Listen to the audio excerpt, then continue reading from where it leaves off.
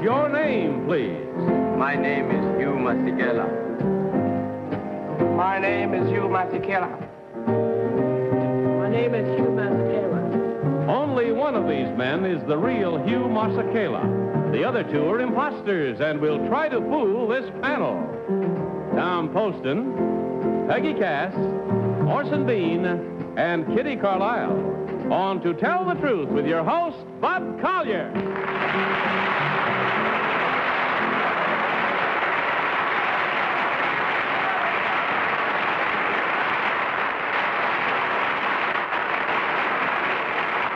Thank you very much, and welcome once again to To Tell the Truth. Good evening, dear, dear panel. Good evening, Good evening, Bud. Welcome back, Bud. It's good to see you again. We're brought to you tonight by Winston Filter Cigarettes. Panel, open that envelope in front of you, if you will, please, and let's follow along in this first story. I, Hugh Masekela, am a member of the Pedi tribe in South Africa. As a boy, I saw an American movie called Young Man with a Horn. From that moment on, I knew I was destined to be a trumpet player. I got hold of a second-hand instrument and taught myself to play it by hanging around dance halls and listening to the music. Eventually, I came to the United States, took formal lessons, and am now the leader of my own jazz quartet. Signed, Hugh Masekela.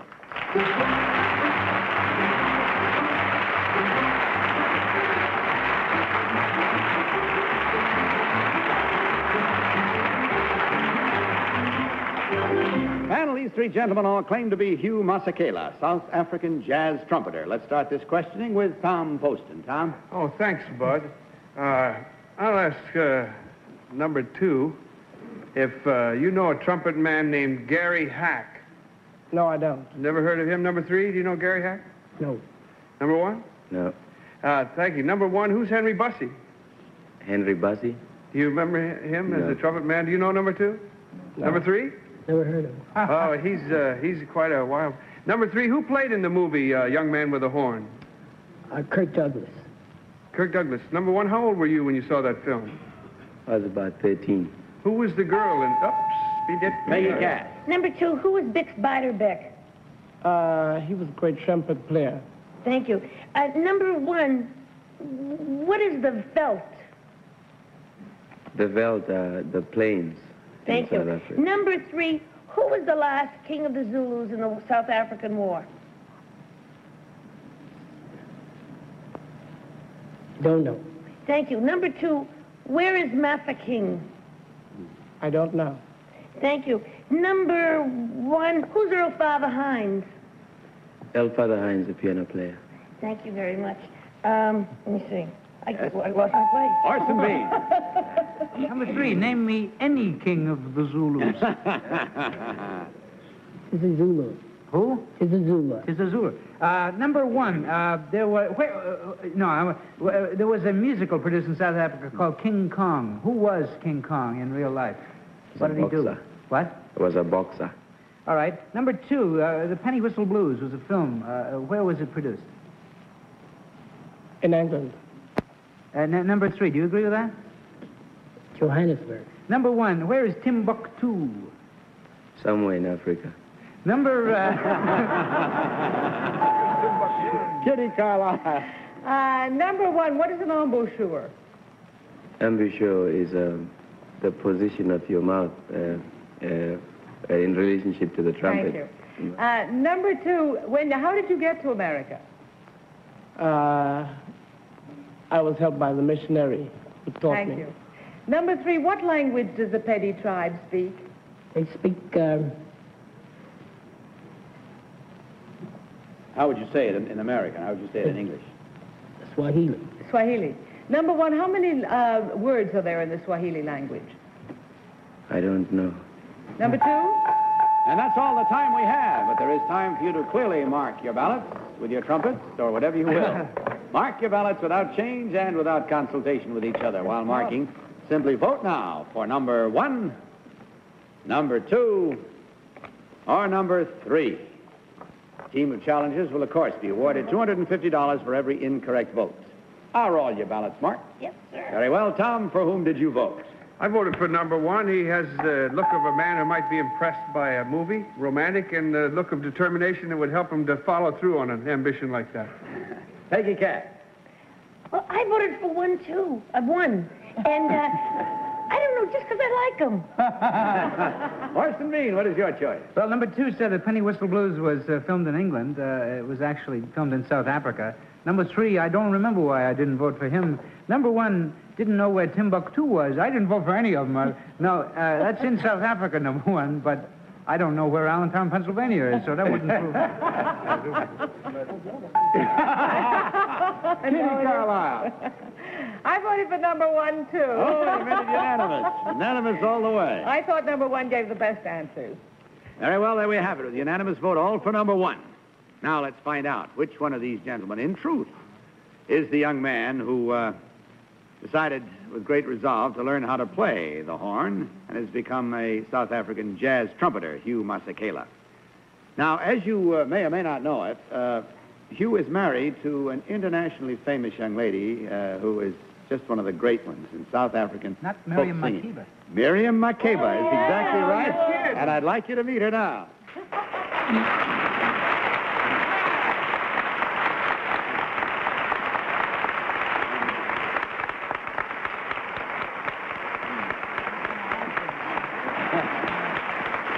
Hey, Bart, I'm, I'm know uh, their, their daughter. You do? Yeah, I taught her to swim a couple no of summers ago. kidding. Well, now here we go. We're going to ask uh, Miss Makeba, if she will, to point out which one of these gentlemen is really your husband.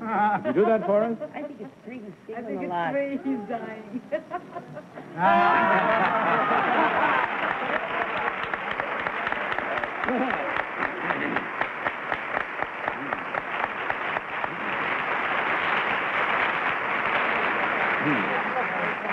Just as it is a great treat for anybody to see you perform and hear you perform, it's a great treat for us to have you here tonight. Thank you. Uh, now, I know that Hugh is going to play for us with his uh, quartet. Could you tell us something about what it is that he's going to play and sing? Yes, the song he's going to play is called Magwalandini, and it's in praise of the brave Xhosa warriors. Uh-huh. All right, uh, Hugh, if you're ready, let's hear from you. Lumkani magwalandini nanga mampondo magwalandini Lumkani magwalandini nanga mampondo. Nilaleleni we magwalandini Nilaleleni we magabandini Nilaleleni we magwalandini Nilaleleni we magabandini Ahom hom hom Ahom hom hom Ahom hom hom Ahom hom hom lumkani magwalandini nanga mampondo magwalandini lumkani magwalandini nanga mampondo nilaleleni we magwalandini nilaleleni we maqabandini nilaleleni we magwalandini nilaleleni we maqabandini yelele ahom ahom ahom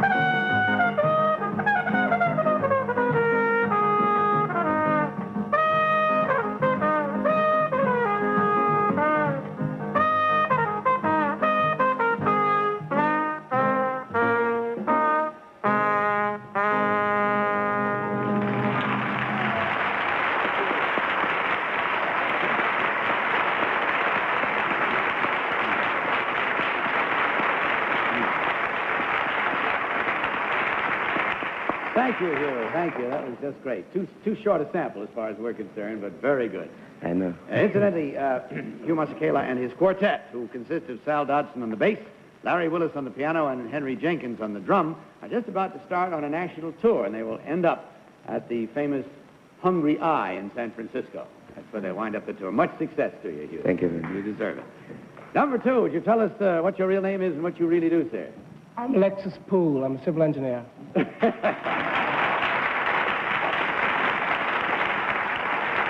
And number three, your real name and what do you do, sir? Malcolm Arbiter. I'm a tour guide on tours around New York, offbeat section.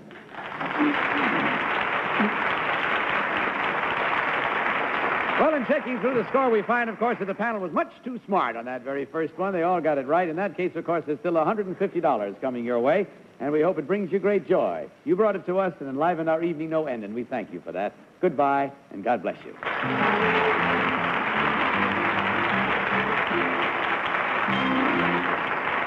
The panel will be back at it in just a minute, right after this. And now let's meet our next team of challengers.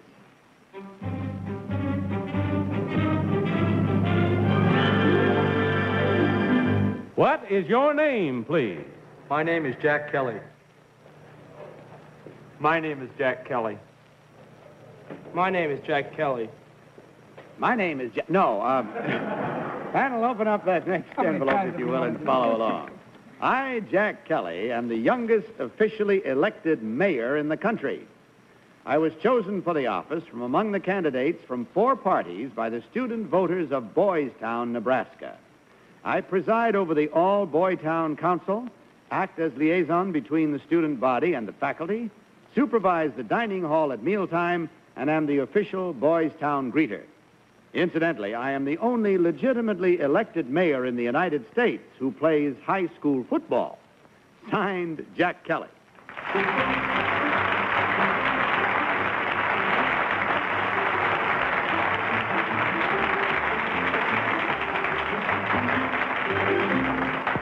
Now, panel, these three young men all claim to be Jack Kelly, His Honor the Mayor of Boys Town. We'll start the cross-examination with Kitty Carlisle. Kitty? Thank you, Bud. Um, bravo, whichever one it is. Um, uh, number one, uh, is this an autonomous group that you're the mayor of? I mean, it, it, it doesn't have anything to do with the with the government of Nebraska. Oh, no, it has nothing to do with the government of Nebraska. Nothing at all. No. Uh, number two, who is the uh, head of the faculty of Boys Town? Father Wegner. Number three, how many uh, boys are you? Uh, 900. Nine hundred. Number one, do you all eat at once? No, we don't. The uh, senior high school eats at one time, and the junior high school eats at another. Number two, how young are the youngest boys? There's one out there about four years old. Oh. Great. Tom Poston. Well, I'm very interested. Uh, I'll ask first. Number three, are there other boys' towns? Yes, there's one in Mexico and one in Italy. Thank you. Number two, uh, how are your courts arranged in Boys Town? Um, I don't Do you have understand. uh, do you have uh, courts there? For How are the boys uh, judged and misdemeanors so or forth? offenses or anything Well, like that? uh, most of the punishment is taken care of by the adult supervisors. Thank you. Number one, do you have uh, uh, other political figures in your town? We have uh, four councilmen uh, and 25 commissioners, uh, but the mayor is the only really political figure. Peggy Cass. Thank you. Number three, what's the slogan of Boys Town? We, uh, he ain't heavy, Father. He's my brother. Uh, n- number two, who played Father Wegner in the movie? I think it was Father Wegner. Who played the priest in the movie of Boys Town? Spencer Tracy. Thank you. Number one, who played the boy? I don't know. You're too young. Oh, it makes me feel old. My dear. Number three, does Boys Town have a college? No, it doesn't. Thank you. Uh, number one, who is St. Dismas? Who's the patron saint of? I don't know. Thank you. Um, number two, is there, it, is Father Wegner a Jesuit? I don't know. Oh. Orson Bean. Number two, you would know it if you were.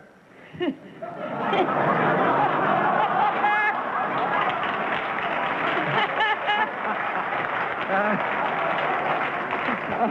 number three, uh, uh, I didn't get my uh, Christmas uh, stamps from Boys Town this year. Would you tell Father Wegner that? I mean, what, how many stamps are sent out every year? Do you know? Oh, over a million. Over a million? Yes. Number one, uh, where is, uh, from what little I know of Boys Town, where is Spencer Tracy Avenue in Boys Spencer Tracy Avenue? Yeah. I don't know. Mickey Rooney Street? No. I don't know. Number two, uh, what are the four... And that's all the time we have. So take your ballots in hand and mark them, if you will, please, because there's no further time for questions. Just simply vote now, as near the truth as you can come. Voting as you go without consultation, without change, for number one, number two, or number three. All ballots seem to be marked. Very well. Tom, for whom did you vote this time? I voted for number three. He looks like he could play football real well. He knew about that slogan or the saying that. Go ahead. Peggy.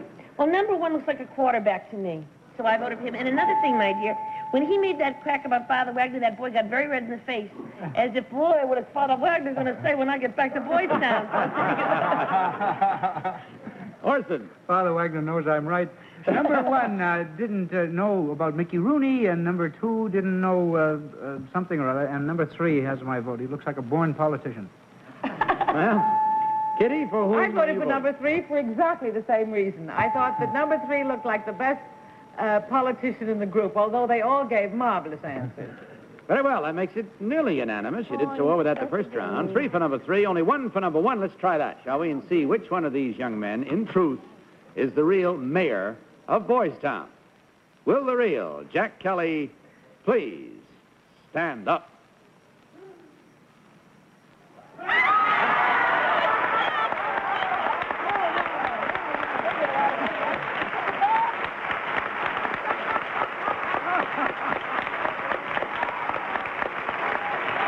Thank you very much. Thank you, Jack.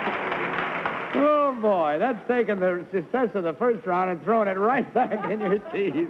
Complete reversal. Jack, how long do you have as mayor?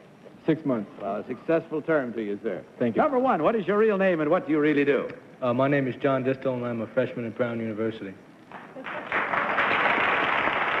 young man is also very modest, may I say. He happens to be the current North Atlantic State senior men's figure skating champion. There's nothing about that.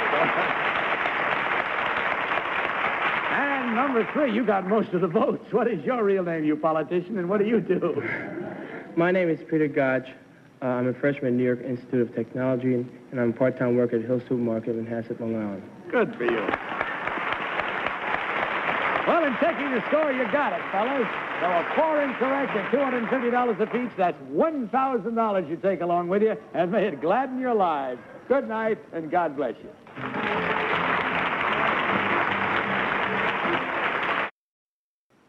All right, panel, let's meet our third team of challengers.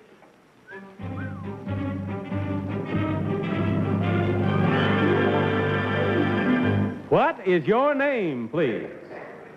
My name is Yurapon Haprasad Suk. My name is Yurapon Haprasad My name is Yurapon Haprasad Suk. Panel, follow along with your copies of this one, if you will.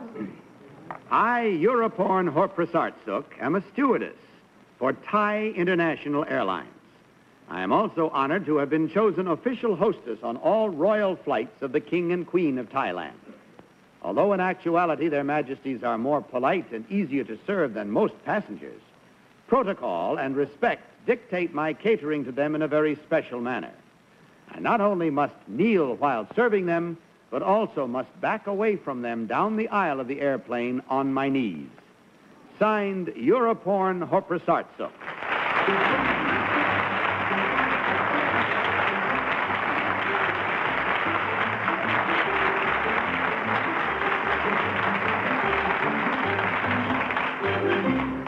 Three young ladies all claim to be Europorn Horprasartsuk, airline hostess to the King and Queen of Thailand. We'll start this round, if we may, with Orson Bean. Orson? Yes, uh, uh, Europorn uh, Hopra Sartsuk number two. Uh, there is a little place in Bangkok that makes great daiquiris. It's in the most famous hotel of uh, Bangkok. What is the most famous hotel of Bangkok? Erawan Hotel. Uh, have you ever tasted the daiquiris there? No? Refuse to answer. Hey, all right. Number one, why was, uh, uh, first of all, what was uh, Thailand called before it was called Thailand? Siam. Why was it changed from Siam? Because we are free, always free. All right. Kitty Carlisle. Number three, what do you do if the plane is bumpy and you're serving dinner? Because every time I have dinner on a plane, it's always that, that's the time it gets bumpy, and you have to back away on your knees. Oh, we don't back our knees when the time is bumping like that. You're allowed to stand up and move even though uh, his, his Majesty and the Queen are on board? Well, we have a chair to hold on or something to hold on. Thank you. Number two, what was the name of the King of Siam during the time of, of, of The King and I, that famous musical play by Richard Rodgers and Oscar Hammerstein? It's King Mongkut the Fourth. Number one, do you agree with that? Yes. Tom Poston. Uh, thank you. Number one, do you like to fly? Yes, I love to fly. But uh, does uh, number two, does the king and queen, does His Majesty and, and uh, Her Majesty, do they like to fly? Yes. They don't They do. mind at all. Thank you. Number three, do you serve drinks on the plane? Yes. Uh, number three, do the king and queen have occasion to drink a little bit sometimes? We're not allowed to give out all this uh, private.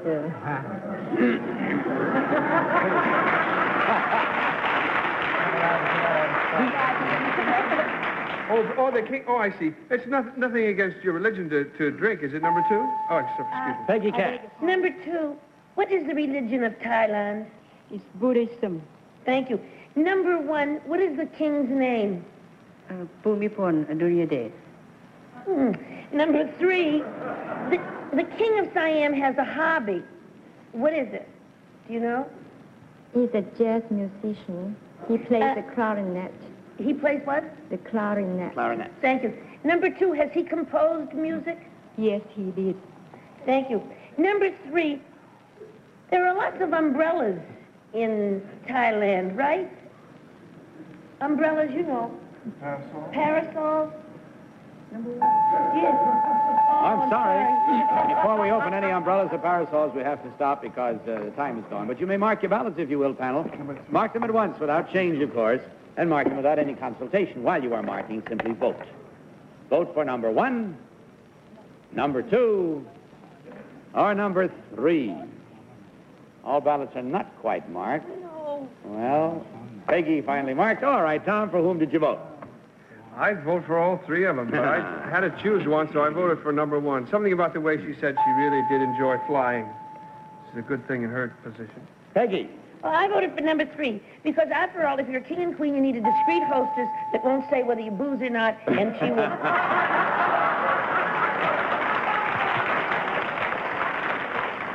Orson Bean. If he plays jazz, he must he must have a little cooking sherry now and then. I voted. I, I think it's number two, but I voted for number one because of the way when I asked her why the country was called Thailand, she said because we are always free. I don't know what it means, but it sounds good. Kitty. I voted for number three because she was giggling at what I think she thought was our silly questions. So it's evenly split then. Two for number one, two for number three. Let's find out at once which one of these young ladies is the real airline hostess to the King and Queen of Thailand. Will the real Europorn Horprasartsuk please stand up?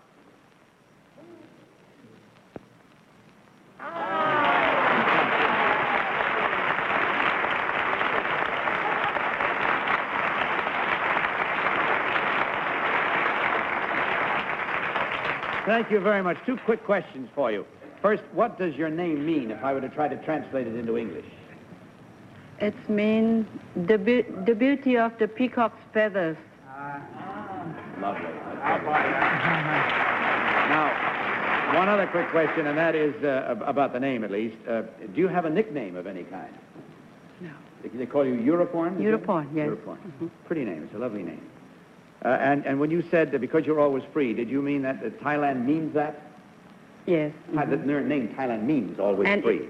It- And it's true. And it's true. Bangkok is the one city Number two, what is your real name and what do you really do? My name is Burani Tirapatanagun, and I'm a student of a business school here in New York.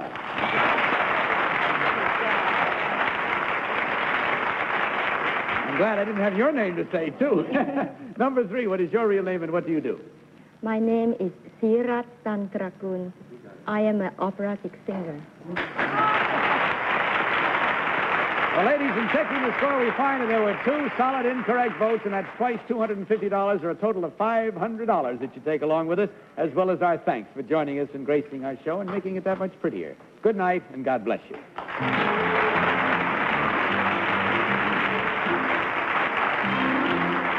Very well, panel, take a minute while we look at this brief film. Delay seat belts another day. Seat belts save lives in your car, not in the store. That's all we have time for tonight. Good night to you, panel, and bless you all. Good night, Bud. Good night from Winston. And don't forget to join us again the same time next week. And of course, I'll see you tomorrow afternoon on the daytime show. In the meantime, may I remind you once again to tell the truth. Happy New Year, everyone.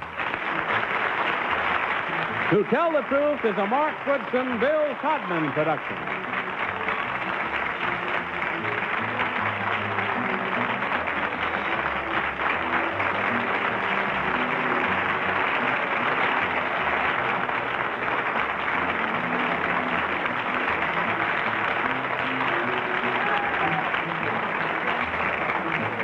Tell the Truth has been brought to you tonight by Winston Filter Cigarettes. Winston tastes good like a cigarette should. Johnny Olson speaking for To Tell the Truth, wishing you a very happy new year, the program pre-recorded.